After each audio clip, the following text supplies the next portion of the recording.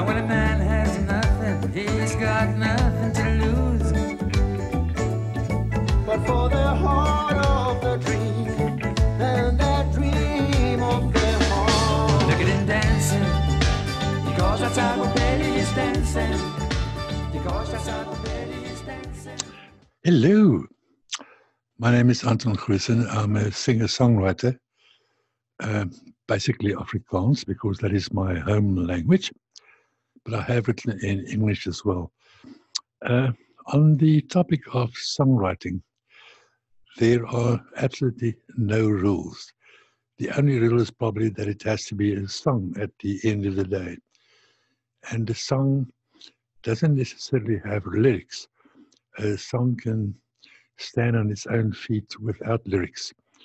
Uh, lyrics on its own feet is not a song. It is, it is a lyric, and at its best, it is poetry.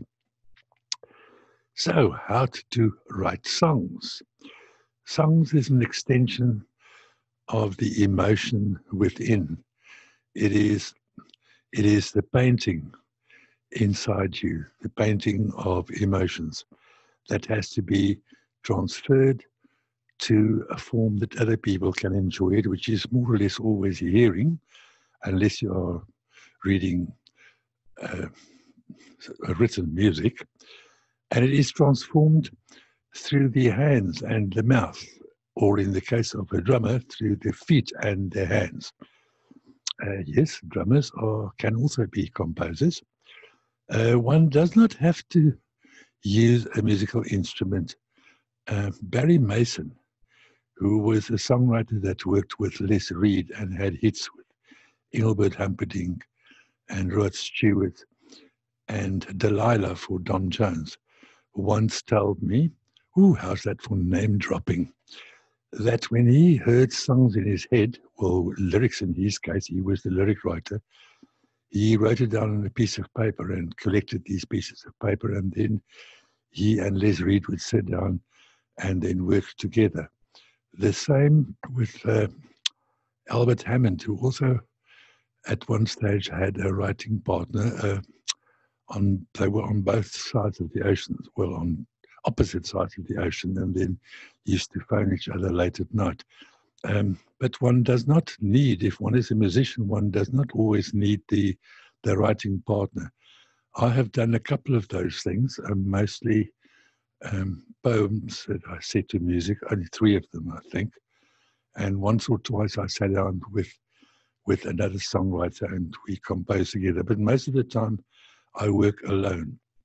As I said earlier, there are no rules. Uh, now, how to write a song. Um, songs is observation. And in my case, and I'm only speaking on behalf of myself, um, there are no rules. I'll say that once more. So pay attention. I, I work holistically. I observe when I'm traveling. When I'm not traveling, I'm thinking. Uh, movies has inspired, have inspired me. Uh, books that I've read, things that I've heard, conversations that I've heard from people, conversations that I've had with people, uh, newspaper reports. Anything can trigger off, off a song. Uh, working holistically does not necessarily mean that I start with the title, but usually the title and what the song is about is um, is the same thing. Uh, once one or I have that that concept, I take it from there. Uh, very often, that title or that holistic idea is part of what would later become the chorus of the song. So I work a bit on that um, usually I finish that and then go over to the verses and and the bridge but It could be the other way around as well. Um, one of these songs, Pampuna Opidak, which means pumpkins on the roof, um, I wrote in the 90s, in 92, but I did, couldn't find a chorus for it. Uh, it was like verses, and I had the, the intermediate bridge section.